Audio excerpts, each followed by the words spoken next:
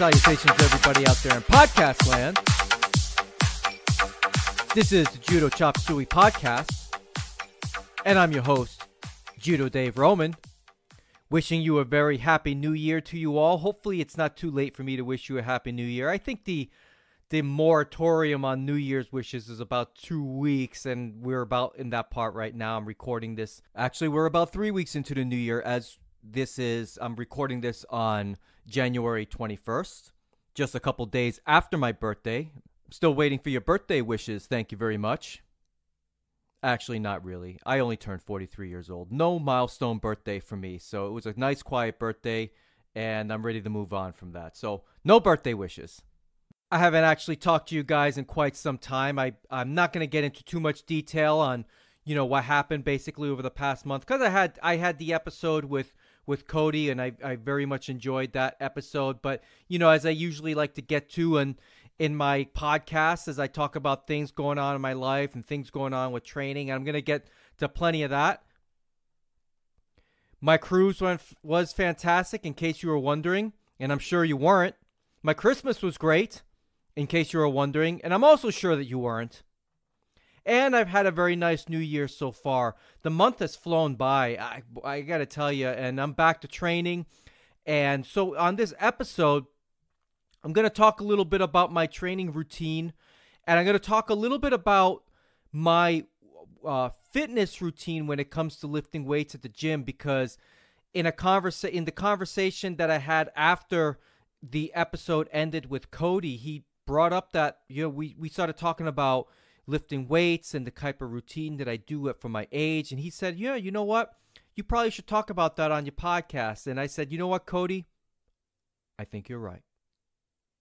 So I'm going to talk about that and it, with the perspective of being a middle-aged man because uh, you know you young guys you, you guys could do anything and you're going to put on muscle but it's a little bit different when you're in in your middle age. Your the, the body changes, the body responds differently than it did in the 20s. So or in your 20s. So I'm going to talk a little bit about my routine and maybe that'll help a few you older gentlemen out there and give you perspective on what I do and what I have found successful over the past several months.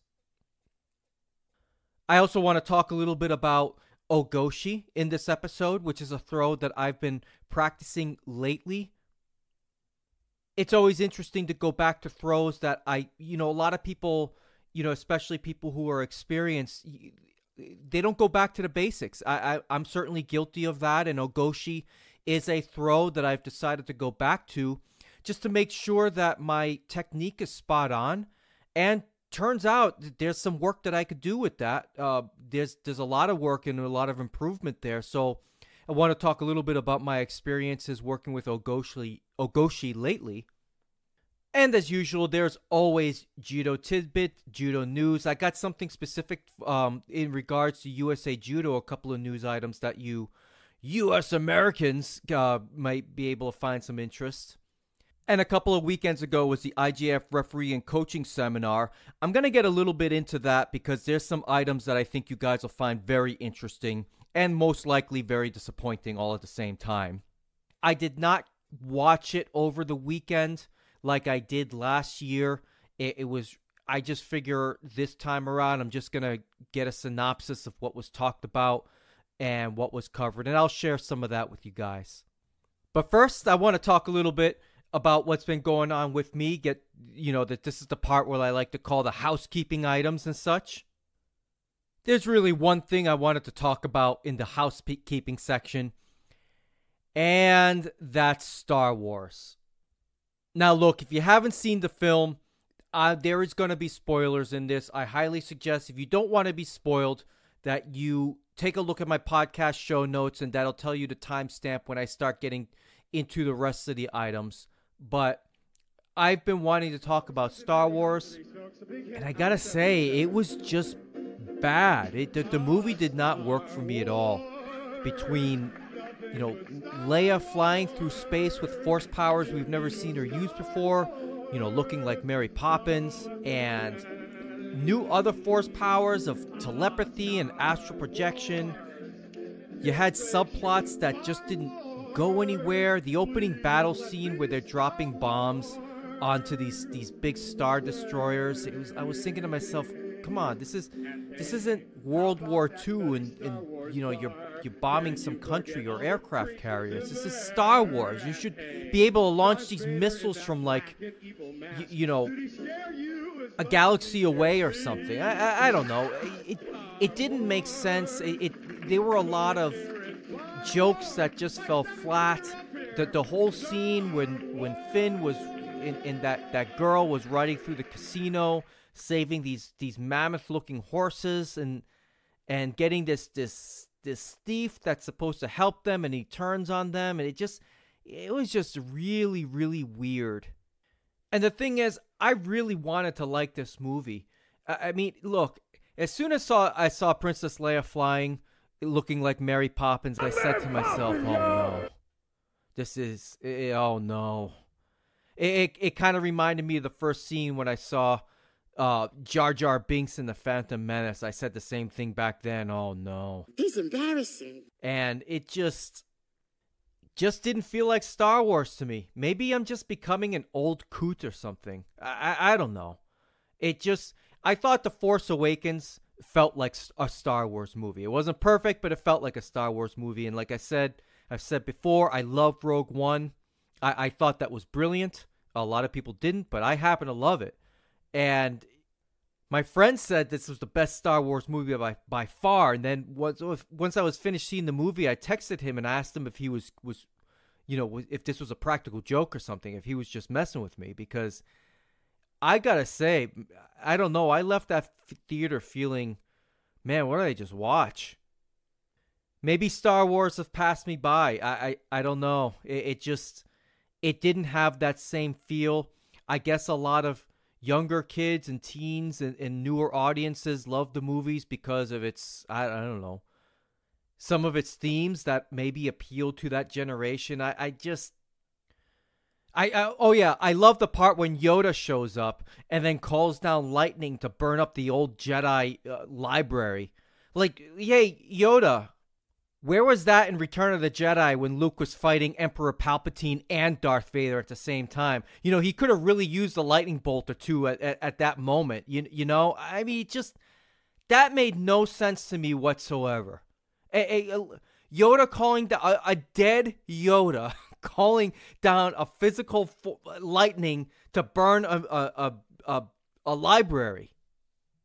Like I said, I don't know. You got Snoke. You, you Snoke dies, and he really wasn't an important character at all. It just, just a weird movie, man. And and I don't know. I just I didn't like it. I don't really care for the direction Star Wars is going. But I'm a chump and I'm gonna keep paying to see Star Wars. Everything every time they pump something out into the theaters, I'm gonna pay to watch it because I'm just a big chump.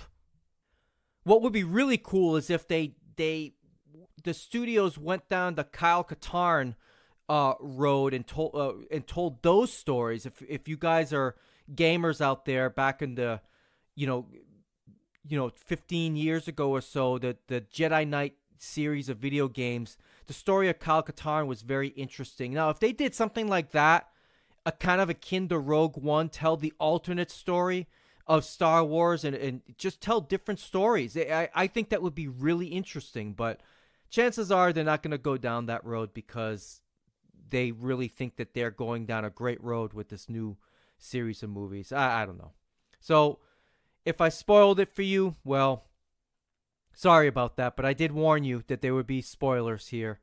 And if you guys love this movie, I would love to hear from you.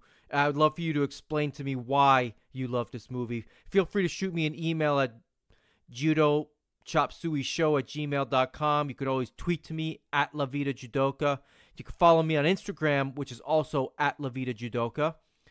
And my Facebook page, you can always reach out to me by doing a search for the Judo Chop podcast. I'm sure you'll find me there. It's not that hard. So, I want to talk a little bit about my weightlifting routine. And as I mentioned earlier in the episode, um, in my last episode, when I had a conversation with Cody, talk, uh, we had a conversation, if you want to call it, off the air. And you know, I was telling him about, I was asking about his fitness routine, and I was telling him what I was doing and and and why I was doing it, and he had suggested, hey, you know what? I should bring this up on the podcast at some point. So I figured I'd do that right now. Now, lifting weights is not new to me.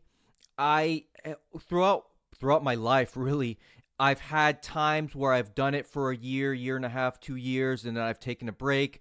I've done it and I've taken a break. I've gone back and forth. I, I really don't know why.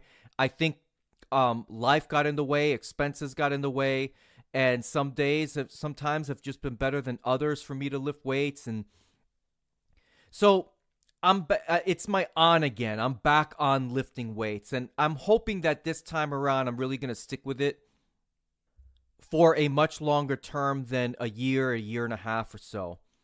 But I decided to start lifting weights uh, probably the an hour or two after the open randori session I had at Ybor City Jiu Jitsu back in, in late October when they I talked about this a few episodes ago when we had it.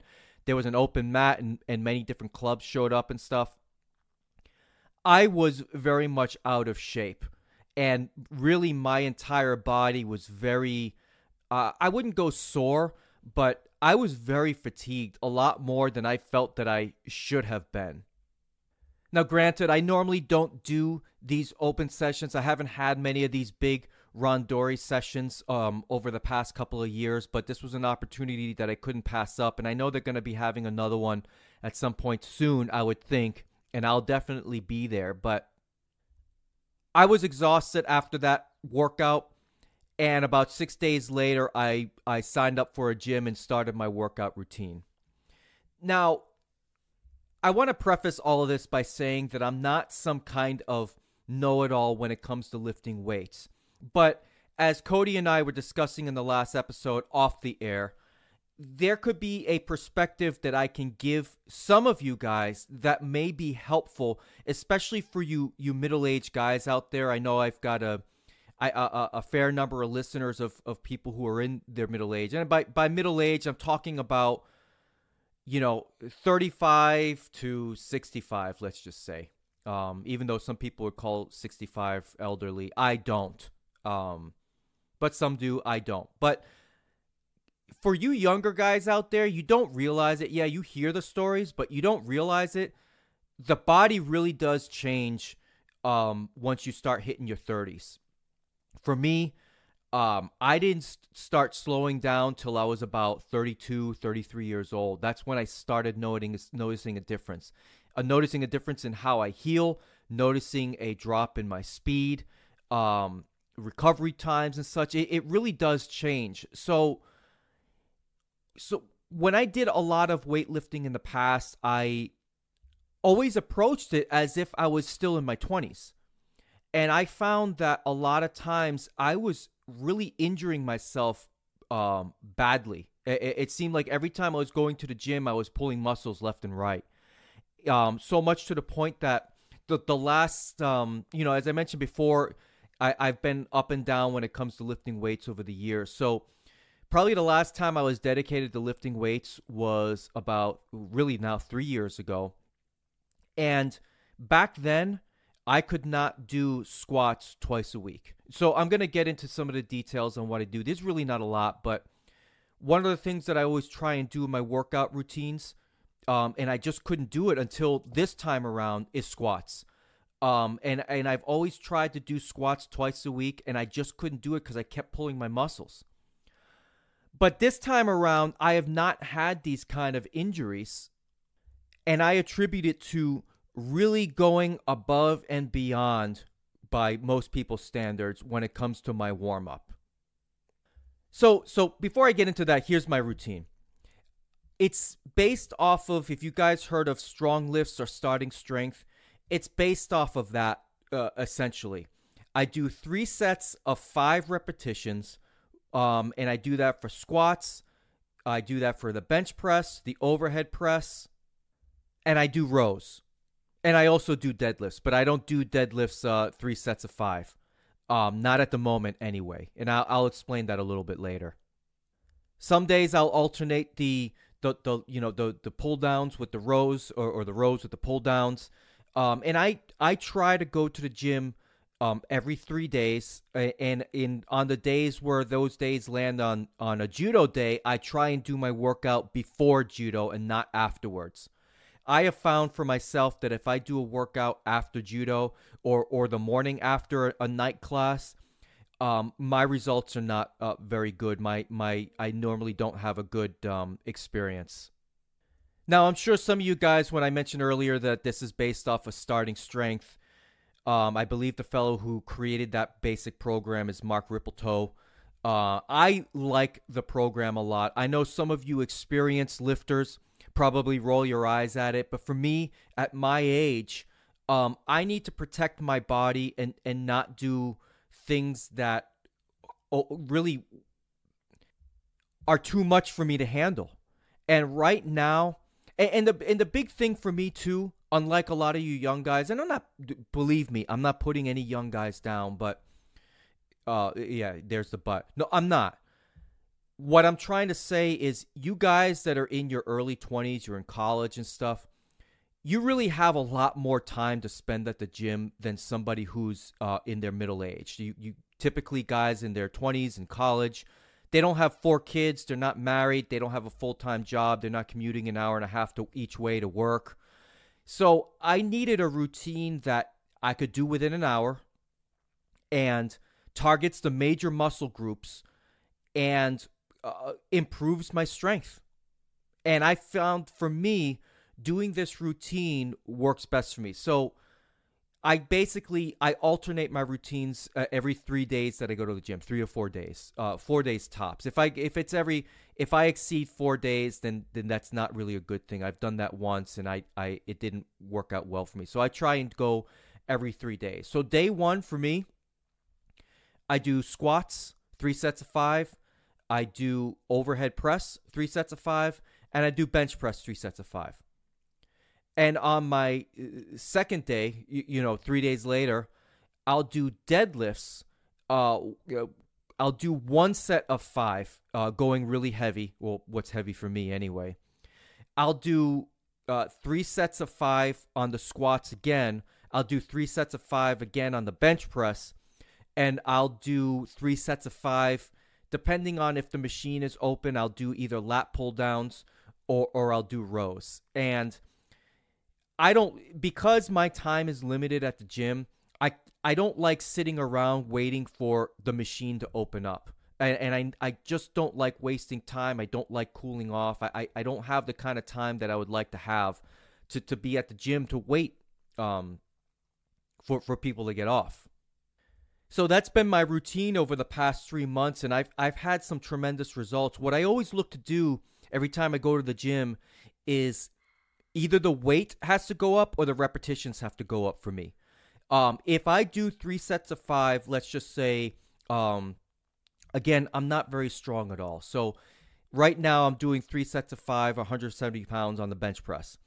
The next time I go to the gym, if I do three sets of five of at 170, then the following time I go to the gym, I'll put on I'll put uh, five pounds more on the weight, so I'll, I'll be at 175. And if for some reason I can't do three sets of five at 175, I take notes on what I did. So let's say, you know, the first set was was I did uh, five reps. The second set I did four reps, and the third set I did, you know, three reps. I will stay at 175 until I can hit three by five. Uh, you know, three sets of five repetitions. And that's how I've been measuring my progress. I always write down what I'm doing. I can never understand how guys just just go to the gym and, and not write anything down and just push weights and not even sure, you know, uh, what they're recording because for me, I need to see progress. I need to see that either the repetitions are going up or the weight on the bar is going up. And I'm a big proponent of free weights. Um, I I prefer free weights over machines, but in my opinion, it, I don't think it matters all that much for my goals. And my basic goals for lifting weight is to get stronger. I'm not doing it to to become a bodybuilder. I'm not doing it to look good.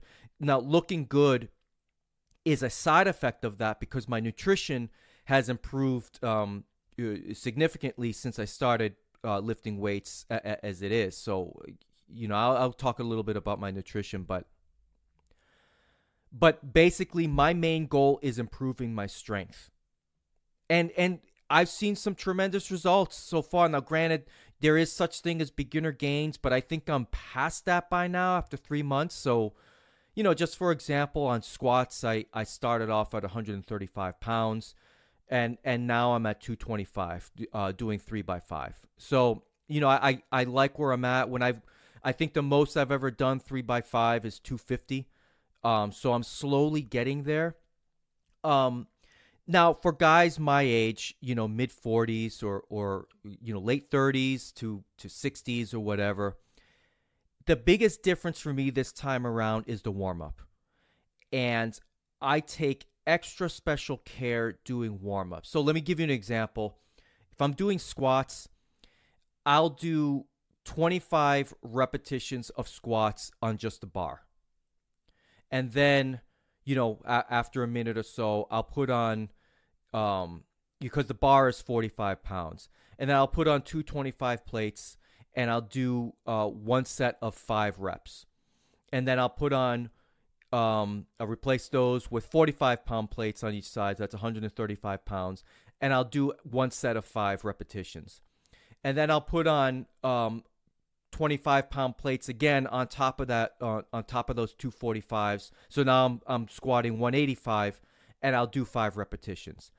And then I'll, as those, as the weight gets uh, higher, I give myself a little bit more rest in, in between those warm up sets and then, you know, once I do that one set of, of five at 185, that's, you know, that's when I'll take off the, you know, the 25 pound plates and put another pair of uh, 45 pound plates to get me to 225 pounds. And I have found by being diligent in working out, uh, uh, warming up in that way, I have been able to do squats twice a week. And and guys, this is a huge deal for me because I have through years of doing Uchimata incorrectly, I tore my my left hamstring. So that for for years after I tore that left hamstring and never healed right, every time I used to do squats, that left hamstring would always pull. And I could only do squats once a week. But now, because I'm being a little bit more diligent in my stretching and being a lot more diligent uh, with my warming up, I'm doing squats twice a week. And and I'm not having any ill effects from the hamstring. And when it comes to squats, I make sure I go at least parallel. My my hips are parallel with my knees. So let me get to the point of all of this. This has helped me tremendously in judo over the past 3 months. And I know it's no secret obviously the the the competitors um lift weights, at least they should be. I know most of them do. But for you, for us recreational guys, I really think it's important to supplement your judo with well lifting weights, and I and I'll tell you why. As we get older, the body breaks down a lot easier, and it's a lot more difficult to uh, heal. We just don't heal as fast in our forties, and we don't recover as fast. And I gotta say, before lifting weights, every time I do randori out there or was doing randori, I feel like I was one bad twist away from from blowing out a shoulder or or or maybe injuring my knees or or pulling a muscle somewhere. That that's how I really felt. I mean, it's sad to say that, but doing judo 3 times a week or or two you know 2 to 3 times a week just wasn't enough for me to feel uh I, I, don't know if safe is the right word, but I really felt like I might break down at any second. Um, especially being a lightweight guy, you know, I'm about 150 pounds, 155 tops, and most people I do, most people in their 40s are not 155. They they they tend to put on weight, um, and and they tend to be a lot stronger than me. That's just that's just how it is, and and I I mean I can accept that, but with that comes the challenge of always having to do randori and and you know practice with people who are at least 30 pounds heavier. At least that's my experience with me. Judo Joe, you know, my friend, he's about 160. He's about the only guy that I know that's my age. Um, that's you know that that's skilled in judo that I and that's why I, I do a lot of randori with him because I feel safe doing randori with him because I feel like he's not going to do something stupid um and, and, tear out a shoulder whereas you know somebody who's 200 pounds I don't care how old you are. They they tend to do play judo very strong in a certain way, and I mean I'll do randori with them, but but it's I usually felt very unsafe and not more more because of me, not because of them. But now that I've gotten stronger, I don't have that feeling anymore. And I have gotten a lot stronger over the past three months. It, it, I definitely feel it when I'm doing randori. I feel like I I don't want to go as far as saying I feel indestructible, but that feeling of like, you know, let's say I'm turning in for a throw and I just don't get it quite right. And sometimes, you know, you kind of get torqued up. Well, you know, months prior, I, I would feel like, oh my God, I almost hurt my shoulder there. But now it's like, I, I feel very strong. My body feels very much like it can handle that kind of stress because I'm I'm constantly stressing it every three days with heavy weights. So I feel like my body can handle those stress not only in my shoulders but in my knees. And I feel like, you know, let's say if I'm doing a low seoinage against somebody who's heavier, eh, because I don't like dropping to the knees. I really prefer staying on my feet. Well, I don't feel like my knees are going to give out just because the guy is heavier. Even though likely months ago that would never actually happen, but it feels like it's about to happen. Um, because again, I was very light and not very strong. So I'm going to continue lifting weights. I I've said it before that I plan on competing this year. I've really narrowed it down to one competition, and that's going to be later on in the summer. I want to do the U.S. Open, which should be in in the uh, Miami area or Fort Lauderdale. And the reason why I want to do that particular tournament is because I am more than likely going to have guys my age um in my weight division. Because a lot of the other local tournaments they they spread them apart at you know light, medium and heavy. So there's a big uh, weight range to to be at. But I want to be at a tournament where there are other masters level competitors in the under 66 kilo division.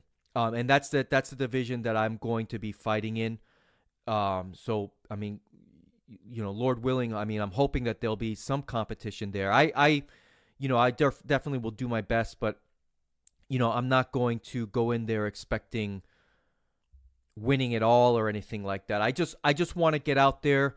Um, you know, it's been a long time since I've done any real tournaments, and I want to, I, I want to give it a go but I want to be the most prepared that I can be and as strong as I can possibly be heading into that tournament. And that's why, you know, instead of doing some New Year's resolution and starting in you know, January, I decided to start this at the end of October. And I'm glad I did because I feel like, you know, for a tournament that's in July, I'm ahead of the game. Um, though likely that the anybody else showing up will will probably be stronger than me and better than me, but that's okay because I just want to I just want to get out there and and experience a, a, a tournament again. I, I, think that would be a lot of fun. I think it would be great for my overall judo development, and I'm looking forward to it. I'm going to make sure that my calendar is clear, and uh, I I want I want to I really really want to do this. Just I I'm not going to go to a bunch of tournament. I just don't have that kind of time. But if I'm going to pick one. Um, it's going to be that one. I, I'm going to forego the Sunshine State games because I, I I've seen the numbers. The numbers seem to be dwindling with that. Um, so I've picked the U.S. Open. Hopefully, they will be uh, a lot more organized than they were last year because there is no way in hell that I'm going to be sitting in a line for six hours to register. I mean, that something's got to be done about that. And I hope anybody who's part of that tournament organization, I hope you're listening because you guys you look, you ran a great tournament, but uh, that registration process was was unacceptable, and I hope you guys do better this coming up year. Now, before I talk about um, the next subject on this podcast, I want to touch briefly on uh, the, my nutrition over the past several months and how it's been beneficial to me for to to not only building muscle, but it's um, helped me cut some fat, so I'm looking leaner than I have in, in quite some time.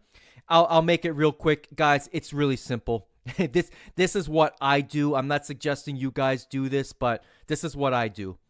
Breakfast, I eat bacon and eggs and maybe a slice of toast. Lunch and dinner, whatever I can cook on a grill is what I typically eat. And since I'm a simple person with simple tastes, that usually means either grilled chicken wings or or steaks. And I'll usually have some broccoli with that. Well, if I have chicken wings, I won't have broccoli. I, I don't like eating broccoli and, and chicken together for, for whatever reason. Not wings anyway. I, I like it mixed up in pasta and, and such. But a lot of times I'll have a steak and some broccoli or a steak and a sweet potato. And that's it. Pretty boring, I know, but I cut down on the carbs um I, you know i'm not going to go carb free i mean i i did as for the for the weeks leading up to my cruise but that's because i wanted to look really lean. I i did manage to get slightly under 14% body fat. I'm a little bit above that now. I think i'm about 15% right now. But in order for me to get to my fighting weight i'm going to have to cut some body fat for sure especially if i'm trying to put on some muscle. Um and that shouldn't be too difficult for me for the weeks leading up to the tournament. But that's it. Look, I I would say whatever you can grill is is what you should be eating. So I would stay away from fried foods. I stay away from lots of pasta. Now look, I, I don't go crazy because you know like like uh, my birthday a couple days ago we got pizza. I had a couple of slices of pizza for for for dinner.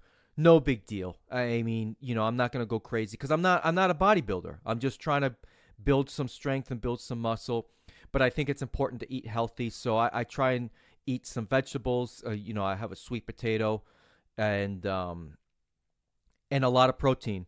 And I do make some protein shakes as well. I, will mix in some protein powder uh, with some almond milk or coconut milk, and uh, you know, mix in some strawberries and banana. But Creates a, a really really nice tasting shake. I I, I stay away from uh, milk as much as possible.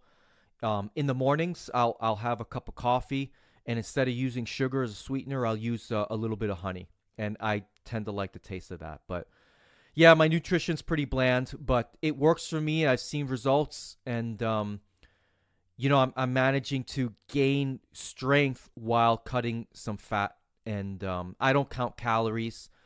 I just, I just, um, I really, if you stick with a lot of lean meats and vegetables, it would be very hard to to eat um, so many calories where you are, you know, gaining a lot of excess weight. But that's what's been working for me in the gym and for nutrition. When it stops working, well, then I'll I'll change it up. That's just what I'll do.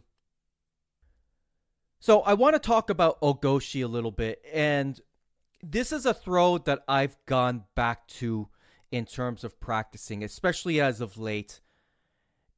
I think it's an important. I think it's important for well, not only beginners but experienced judoka a lot uh, alike to go back to the basics to ensure that what you are doing is proper and to reinforce, you know, these basic throws that you truly are mastering them as you're getting older. And it's what's interesting to me is that when I go back to throws that in my mind I feel like I've got a really good handle on, I tend to learn something new, something new about myself, something new about the throw. And with Ogoshi, that's certainly no different. Uh, um, it's really interesting to see how a throw can, by going back to a throw, that you can learn something new out of it or learn something new about yourself. But that's exactly what I found happening to me as I've been practicing Ogoshi lately. So in my club over the past, uh, well, let's see, the last time I was there, um, I was working uh, with the lead sensei, and sensei. we were. I wanted to work on Ogoshi. We were working on a couple of other techniques, but Ogoshi was one of them because I feel because he's a lefty. I feel that Ogoshi is an excellent throw to use in a lefty versus righty situation. And not only that, I just feel Ogoshi is a building block throw.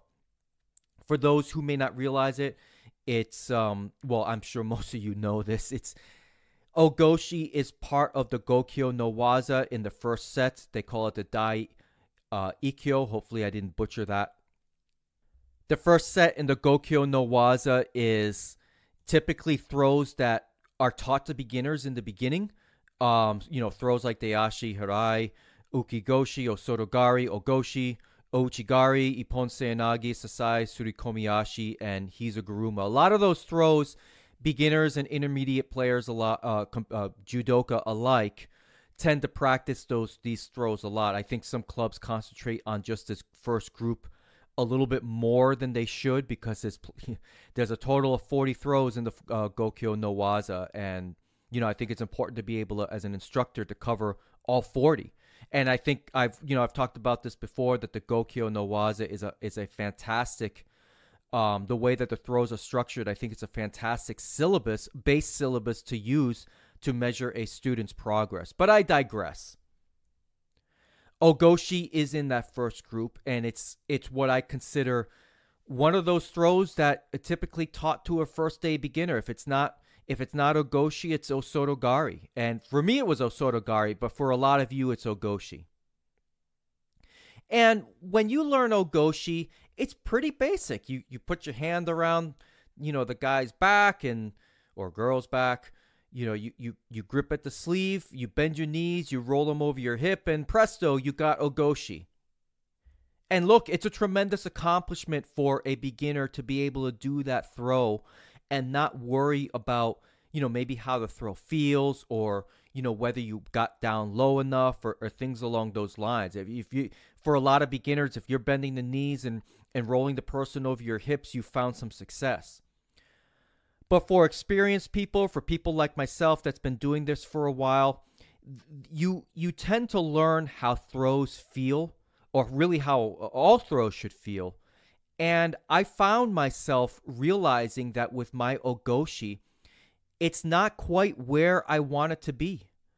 And granted, you know, if I did the Ogoshi that I was doing the other night for, let's say, a black belt test, I would pass. It would be fine. You know, it might be scored, a, you know, out of five. I might get a three out of five, but that's not good enough for me because I want to, I want a five out of five. I want when I do Ogoshi if I demonstrate Ogoshi, if I'm going left versus right or whatever the case may be, I want somebody to be able to look at that and say, wow, that is a beautiful looking Ogoshi. Because I really believe with Ogoshi, that is the building block for many other throws in the judo syllabus. So I recorded myself doing Ogoshi, and, and granted, you know, the sensei of the club is about 30 pounds heavier than me. He's a little bit taller. That really shouldn't matter. I do find it difficult when doing throws on a crash pad. If I'm not moving with somebody who's heavy, it is difficult for me to just generate kazushi, especially if they're not giving me anything.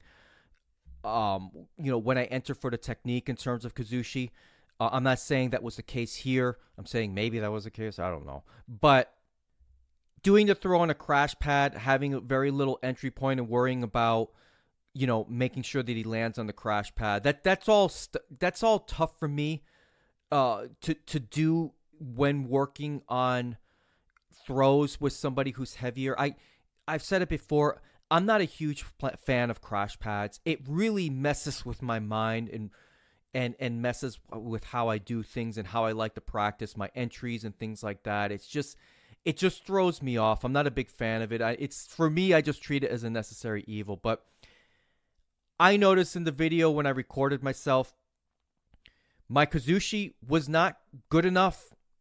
Um, and my entries was not low enough. And, and it's so strange when I do these throws and I, I, I say, okay, I'm going to get lower. I'm going to bend my knees. And I look at it on the video. I'm barely going any lower. When when I do the technique, I feel like, oh man, my, my butt was practically at my heels. That's how it feels. But then when I look on the video, it's like, gosh, I wasn't even close at all. So it's interesting to, to knowing what I know now and trying to master uh, this technique. It's what's interesting to me is as I've gotten better at judo over the years and I've progressed and I've practiced more, judo becomes less and less for me about throwing people then it and it becomes a little bit more about mastering my own body and fitting it in places that I need to put it in in order to be successful.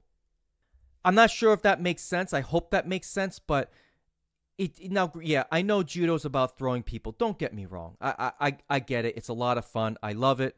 Uh, I don't know why I love it. I just do. But as I try to get better, it's more about me mastering where I put my body in throws, how I position myself, how I move. And it becomes less about, you know, gosh, this guy is stiff arming me. This guy can't even move. He's just just being really stiff and this and that. It really becomes less and less about that. That's why, you know, I I, I was in a discussion earlier this week on, on Reddit about, you know, somebody was talking about how you know they got a guy at their club that's that's really stiff. He he kind of lumbers around and stuff. It's really hard to throw him and things like that. And you know, I I kind of I tried to encourage him and let him know that hey, you know, these are opportunities for you to grow as a judoka, and it, it, because as you get better, really the challenges in front of you have have to me anyway.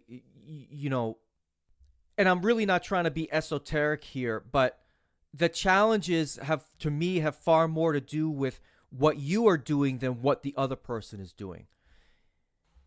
I feel like in judo there is always an answer to the situation that you're facing and you know as I've gotten better as I've gotten older you know that answer you know it should be less and less about you know, dude, can you loosen up? And and more about, okay, this guy is going to be really tight. This this guy is is you know being very difficult with me and Ron Randori. How am I going to move and throw in a way that's going to take advantage of what he's presenting me? And that's really, you know, that's the ultimate challenge in judo. And and you know, going back to Ogoshi, you know, I could sit here and complain and say um, you know, he wasn't really giving me much in in terms of Kazushi, you know, when I'm pulling and stuff like that. But but this is a good opportunity for me, even when just practicing the basics, by saying, okay, what do I need to do to get him to in the position where I could effortlessly throw him and throw him in a way that it's it, I don't feel uh, he just he just goes over very easily and and so these are this is why I'm going back to the basics. You know, I could sit here and be practicing, you know, something like reverse seoinage, and that's all fun and dandy and stuff. But the basics, for me to look to master the basics, I think is critical for my own development moving forward. And I'm look, I might be getting older. I'm certainly getting slower. Actually, there's no might about yeah. I am getting older. I am definitely getting slower, but it doesn't mean that I can that I stop improving at judo. And judo is just it's so much more than just you know speed and and and uh, and strength and, and stuff like that. One can improve even as your physical skills are diminishing. You could get better at doing certain things, and you you have to take the challenges that are ahead of you. And aging is one of the biggest challenges anybody on the mats has to face. Um, but you can still improve in spite of that. I, I, I really believe that. And that's why I'm going back to the basics because I want to improve. Uh, you know, being able to blast in there with, with Ogoshi that uh, with speed and, and getting to the right time, that, that's not going to do it for me anymore.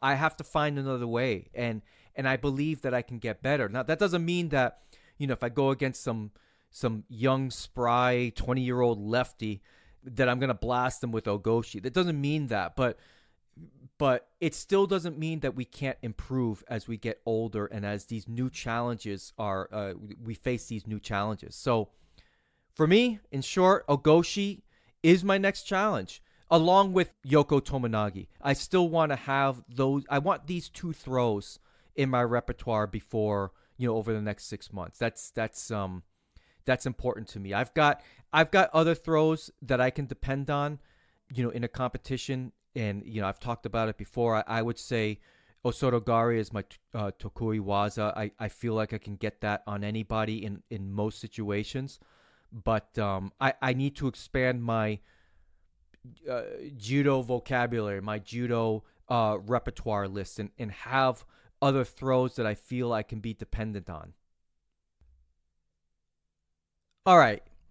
It's that time of year again. What time is it? No, not you New Year's. It's that no, not my birthday either. that time of year where the International Judo Federation has their referee and coaching seminar. And every year when they have this seminar, uh, news of what is changing and clarifications of uh, rule changes that they've discussed in the previous year they come to fruition here it's it's practically you know it's gone over with all the coaches and the referees and they set the tone on how the rules and their changes are going to be called moving forward for the IJF World Tour calendar and in this case we're talking about uh, the new year 2018 now, I went into extensive detail last year on what was covered at the uh, uh, seminars. I did not sit there and watch five hours worth of seminars uh, over the weekend uh, or over that weekend. So this seminar took place took place in uh, Austria. I've never been there, but I'm sure it's a very lovely place. And what I'm going to do, I'm going to run down some of the rule changes that caught my eye. I'm probably not going to cover everything, but some of these rule changes I, I, were very surprising. And unlike last year, some of these changes I I don't really support. Now I'm not going to cover what I've already covered before. And what I mean by that is largely Wazari Awasete Ippon. I'm not going to cover that. I'm, I'm going to talk about some of the rule changes I did not realize were going into effect starting with a big one. Uh, no more kansetsu waza or shime waza if both a- athletes are standing. Um, my initial reaction to this is that I don't like that. And what that says to me, and, granted, I did not watch the coaching seminar where, you know, where you got Neil Adams and, and whoever explaining uh, what these new rules are. But what that tells me, no more flying Juji Katami. Uh, and I don't know why the IJF would go this route. It certainly sounds to me that look, that's that you're so they go on to explain uh, what constitutes Newaza versus what constitutes as you know uh, uh you know uh, Tachiwaza.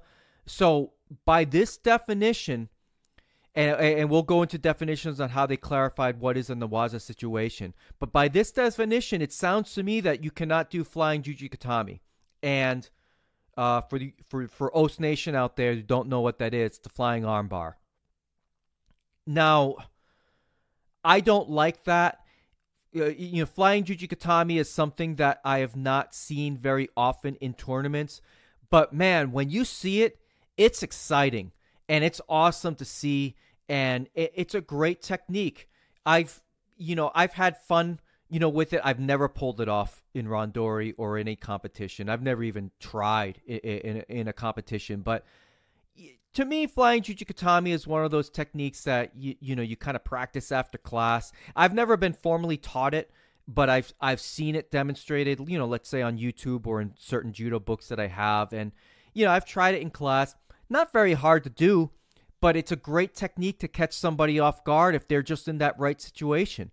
You know, especially if they're, um, you know, I would think, and again, I've never actually pulled it off, but I would think, you know, if you're tired, you know, the person's bending over a little bit, bam, you could slap that thing on and, and catch somebody off guard and get a nice submission out of it. I, I think it's, um, I, I think it's a great technique.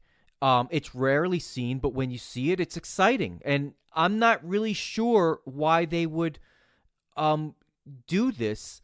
Perhaps there was some contest on the world tour that I didn't see where somebody's arm got seriously broken. I've seen other people comment that that it's a technique that when it's applied there's no escape and some people feel that the IJF are creating rules to at, least allow a counter to every um, throw that is uh, available. And yeah, there really isn't. there really isn't a counter to flying Juji Katami other than you know hopefully the guy messed up and you can escape it. But I don't even know if that's the case. So please don't quote me on that.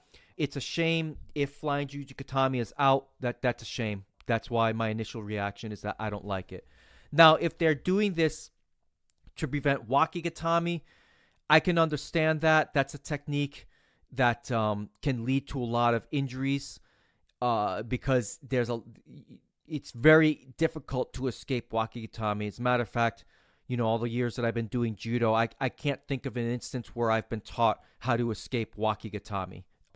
And I can understand the safety aspect. Look, the IJF, in all their wisdom, whether it's a good thing or a bad thing, they're trying to create a sport that is not only viewer friendly, but but is exciting to watch.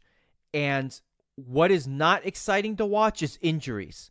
And, you know, and I'm going to get into some of the head diving. They changed a little of the rules on that for in a good way, but they feel and it's this way in any sport.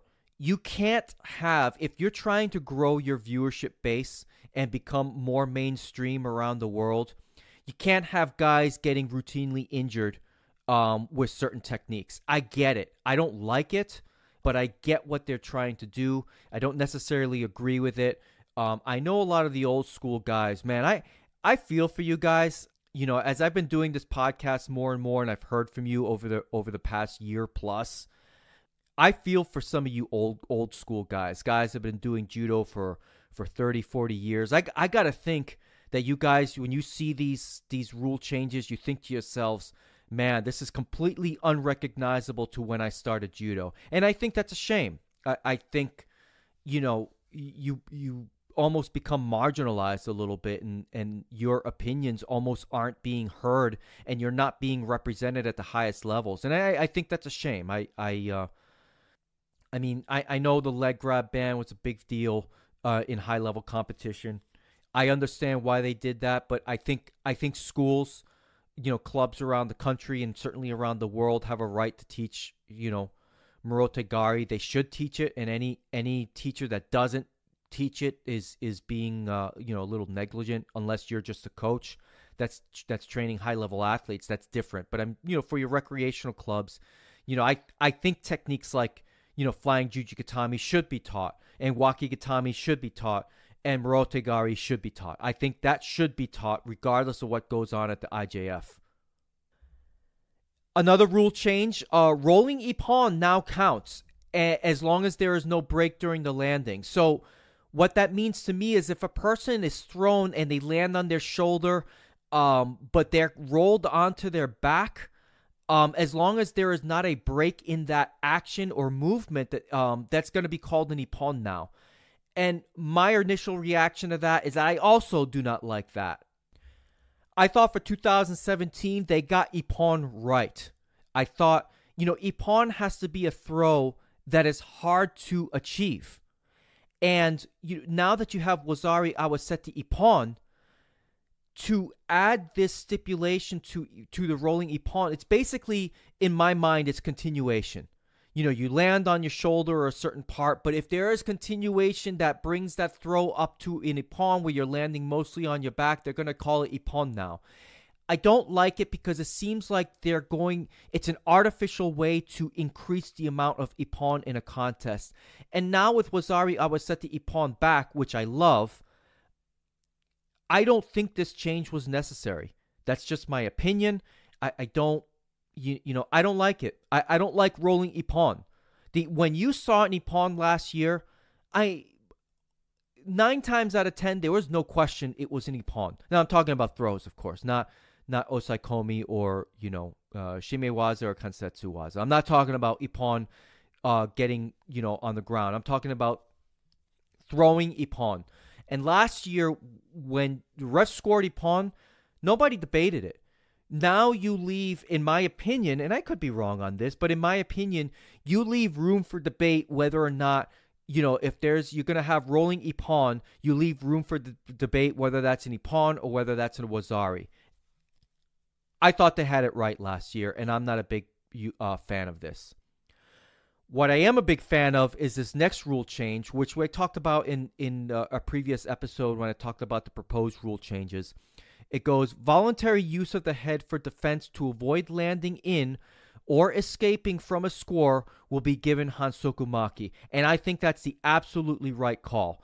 And as far as I'm concerned, not only that, the it, it should go further. The the athlete or the national governing body should be fined every time that happens as well. Because look, the IJF and judo as a whole cannot afford to have somebody's neck broken on a live stream or on live TV for an event. Can't happen. And while Hansokumake is a is a serious enough offense, you're done for the day. You you just you I just to me you got to take it a step further. Just like in the NFL where they are finding any players for headshots like safeties, you know, hitting wide receivers, leading with the head, you know, head-on-head collisions. The NFL, you know, not only is a player fine, you know, the, the NFL finds players for that now. And I think the IJF, they I love the rule change. They didn't go far enough. I think players and and or and or the national governing bodies that al- allow players to do this, they should be fined. And, and you know maybe that's an extreme, but head diving again, you cannot have people getting concussed and, and people's necks potentially getting broken on on a live stream. That is bad for judo. That's bad for business, and it's it's just bad. It's bad all around. And and I'm glad um, they're raising any this kind of thing to a Hansokumake. So now this does not apply to involuntary landing of the head. So, you know, especially with throws like Seoi Otoshi, a lot of times people land on their heads. That's involuntary. And I think we all know the difference when somebody's using their head voluntarily versus involuntarily.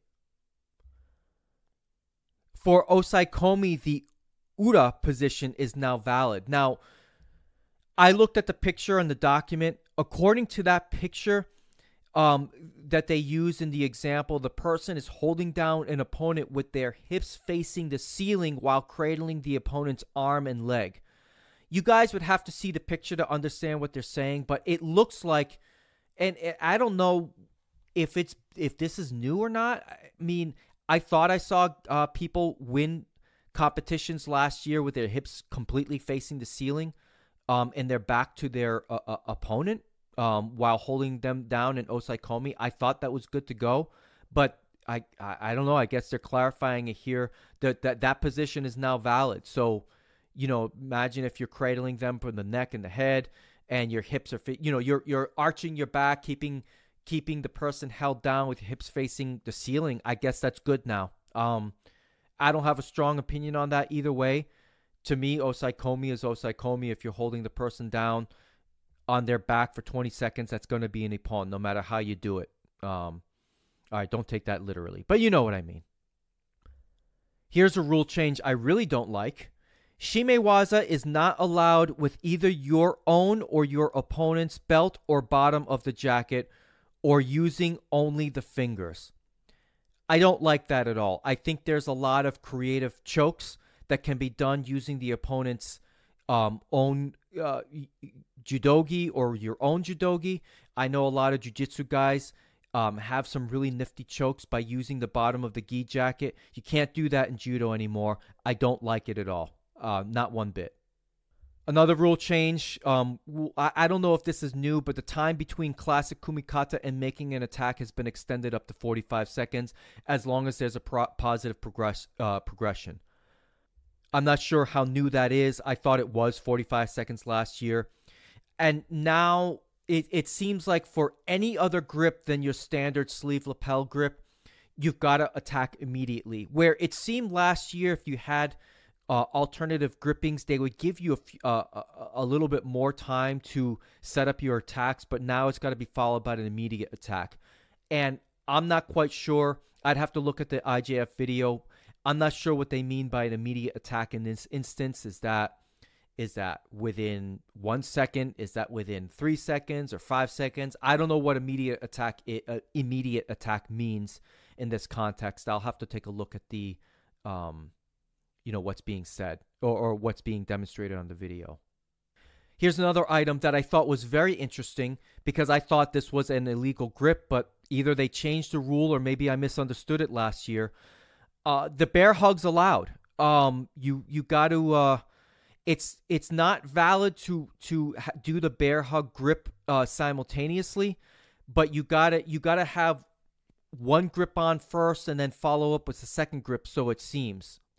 So I I guess that means so. Let's say you know you're you're trying to go the ogoshi and you've got the grip around the back and, and your goshi's not working, you could come around with the bear hug and you you you can grip your own hand. Um, it doesn't have to be some weird grip where you're you're not quite uh, touching your own hands. So the bear hug's back. Apparently, um, you just can't do it simultaneously. You know, like you see in movies or whatever, where you're crushing.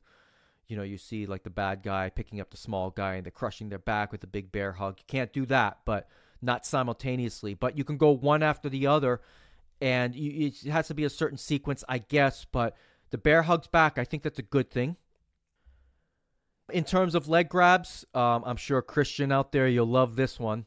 There well the leg grabs aren't back but now it's just a shido i think i discussed this in my last uh, a, a few episodes prior but uh, leg grabs are now only counted as shido where years prior i liked how they did it last year. I know it was confusing maybe for for the fan base well uh, the viewership anyway. I i don't know. My issue with the way that they're doing it now is if you have no Shido and you're and you're but you're losing a contest or or maybe it's tied, you can you can use uh, a couple of your Shidos in the so-called bank to stop people from doing their, you know, a technique like Uchimata. Say somebody's coming in for an Uchimata, you think you're gonna get caught, you just grab the leg. There's, you know, bam, the Shido. But but hey, you didn't get thrown with Uchimata. I don't know. I don't. I'm not sure about that. I I I'll be interested to see how it plays out. Most of these players really weren't, you know, even when they didn't have a Shido on the board, they weren't really using that ability to leg grab to to put a Shido on the board because because of how it was getting penalized in Golden Score. You know, Shidos were a much bigger deal it seemed last year uh, than they will be this year. But um, I I don't know. I'm curious to see how it plays out. I know those of you out there who would prefer the leg grabs back, I, I don't see that happening anytime soon. I've said that many times. But um, I don't I didn't like, you know, an accidental touch of the pants being Hansoku Make. I, I don't like that. Um, now, in terms of leg grabs, you can Kouchi Makikomi and, and similar throws are back so long as you're not using your hands to grab the legs, but you can like kind of use your arm to kind of chicken wing your your uh, your arm around the leg while you're doing a throw like Kouchi Makikomi. That's back, and I think that's a that's a great thing because I I love Kouchi Makikomi. I think it's a great throw. The IJF went out of its way to clarify what is a Newaza situation, and this is very interesting to me. So they have defined that both athletes must have two knees on the floor for it to be considered Newaza. And here are some other rules related to how they define Newaza. Um, if there is no contact between the opponents, it must be mate. So if if uh, if a person turtles and somebody is is trying to turn over the turtle and they just kind of give up and stand up and walk away, the ref's going to call mate. Um, or mate, sorry. The person lying, if so, if a person is lying on the stomach on the ground, that's considered newaza. And here's the interesting one uh, clarification on, on Newaza situations. And I'm going to read it verbatim. Grip control from the standing athlete. We still consider an athlete on the knees in tachiwaza. So they in the document you have a you know an athlete, you know one guy is standing in white and while the other guy is on his knees, the the blue athlete is on his knees in tachiwaza and consequently tachiwaza regulation would be applied. However, if white does not attack immediately, then the referee must call mate. The athlete on the knees cannot grab the legs to defend the throw with his arms, and if this happens, Shido will be given. So let, let me let me just clarify this one more time. Grip control from the standing athlete. Um, they're going to consider that Newaza. If one guy is on his knees or on the ground in blue, and the other guy is standing on his feet in white, that's still considered Tachiwaza. And um, the opponent on the ground cannot grab the legs um, in that situation. And this is really interesting to me because my initial reaction, for one, is that I don't like it. And it makes me wonder if Ryan Vargas's performance at the World Championships, uh, if for those who don't know or don't remember, Ryan Vargas is uh, uh, represents Team USA. I wonder if his performance with him going 3 and 1 had anything to do with this change. And you know, for those of you don't remember, um, several episodes ago, right after the World Championships, I talked about Ryan Vargas's performance and where he used a lot of sweeps on the ground by grabbing the legs and knocking the opponent over.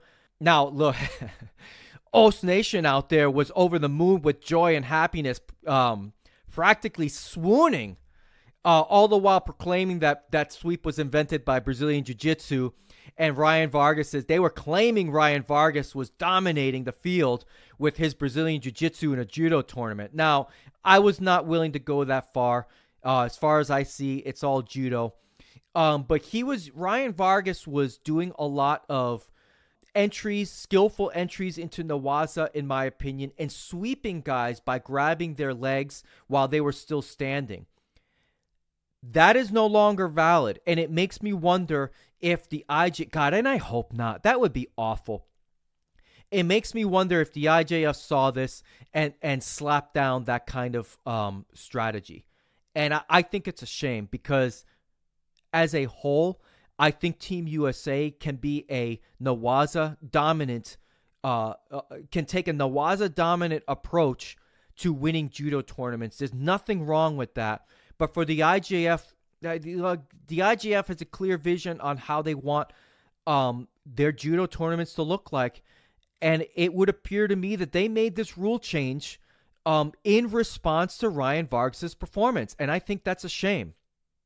And quite frankly, I just don't see it any other way. This was a response to Ryan Vargas' outstanding performance at the World Championship. So, Ryan, I know you're not listening, and maybe your friends aren't listening, but if your friend's friend friend is listening, just know that I'm in your corner on this one because I think that's a shame. I, I just I think you have a bright future, and it's really unfortunate that your abilities on the ground are being neutered um, because of what you managed to do. And um, man, that's awful. And I'm sure I'm sure the Brazilian Jiu-Jitsu guys out there that have an interest in judo, you know, you see something like this, you're just alienating a group of people.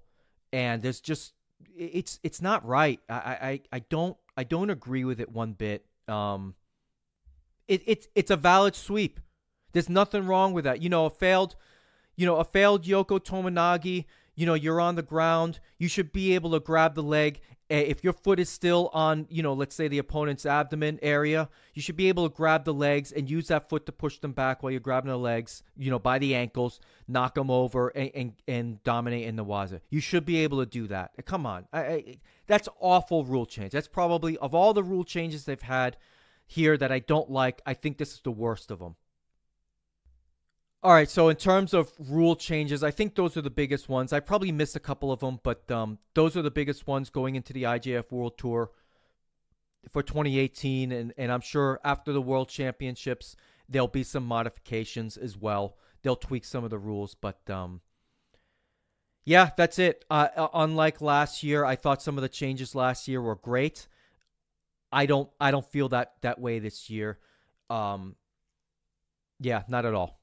I don't feel that way. I, I think, I think you're restricting judo's uh, uh, judo's ability to be creative and dynamic. I, I think you're you're restricting that, and I, I think it's a shame. Now, speaking of uh, Ryan Vargas and Team USA, there's some USA Judo related items that I wanted to get to real quick. Starting with uh, Corinne Shigemoto, um, who was the chief operating officer of USA Judo, and I say was, and I'm being accurate with that. Uh, she's resigned her position. Now, for those of you who have who are USA Judo members, I'm sure at one point or another, uh, you've had to deal with Corinne over the past I don't know several years. She's been at that post. I've always felt that she's done a good job. She's always been uh, responsive with the uh, email. Um, I thought I I I thought she she served USA Judo well, and I would like to wish her um, the very best in, in all her future endeavors. I'm not sure who USA Judo is going to replace at this point, but um, but they, whoever that is, they'll have big shoes to fill because I thought I thought uh, Corinne did a good, very good job. USA Judo also announced that uh, Corey Sanders is leaving as well. Corey had been there for a while and was the um, the membership coordinator. So anytime you had an issue with your membership with USA Judo or whatever the case may be, he was always kind of the uh, first line of defense, so to say, uh, when it come to ha- came to handling uh, uh membership related items. So what that means is, well, well, first off, uh, Corey, I wish you the very best of luck in all your future endeavors. But what that also means is that USA uh, Judo has some job openings. So if you want to work for the organization, feel free to shoot them an email. Not sure what they pay, but uh, for me, it's probably not enough. there was another really cool uh, news item related to USA Judo. Um, they announced that they've got uh, an international training center pilot program, and according to the uh, the news clipping or the item that I received, where did I see this? Did I see this on Team USA site or, or somewhere else? I'm not quite sure, but um, goes today. USA Judo announced a new venture with Pacific Rim Martial Arts Academy in Tigard, Oregon.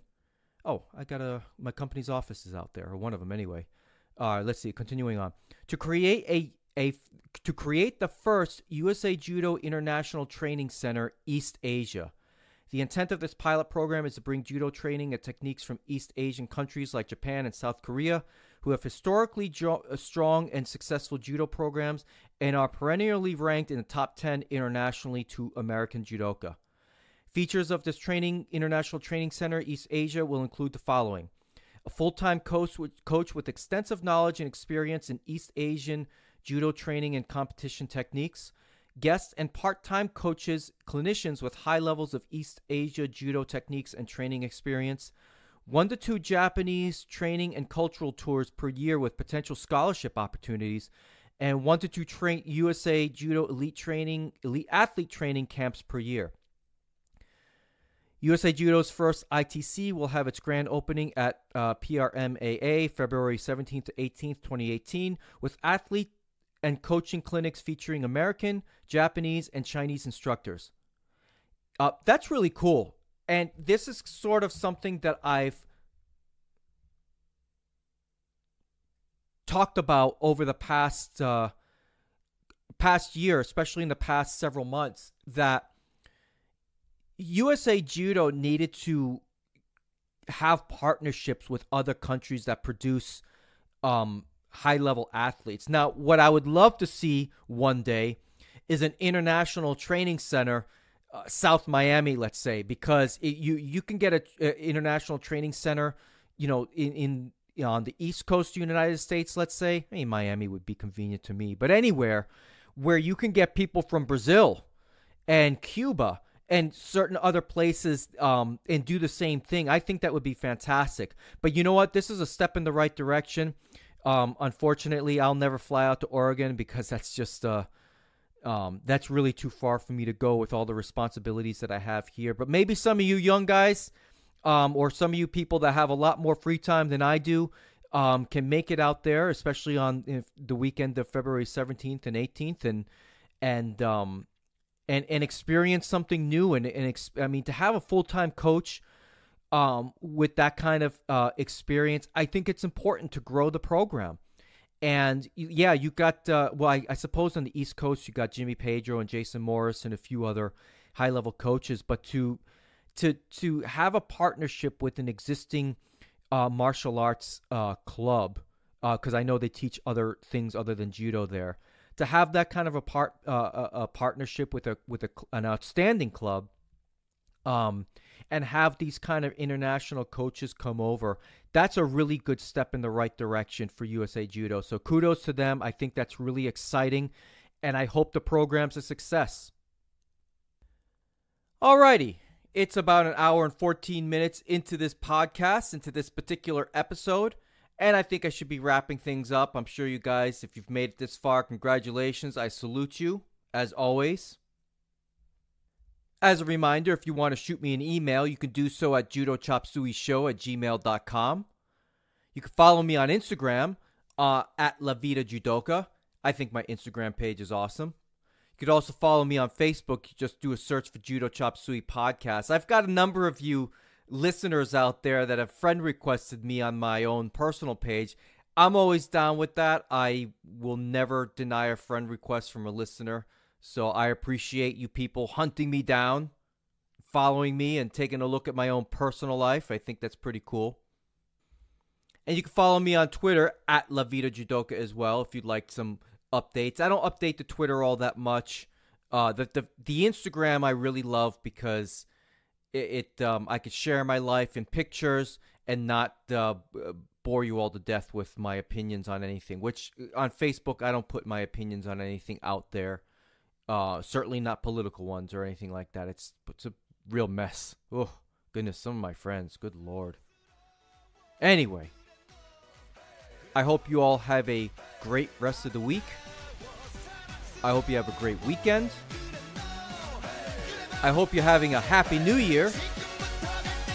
Train hard. Stay safe out there. Until next time, I'm out. Oppan Gangnam Style. Gangnam Style. Op, op, op, op. Oppan Gangnam Style.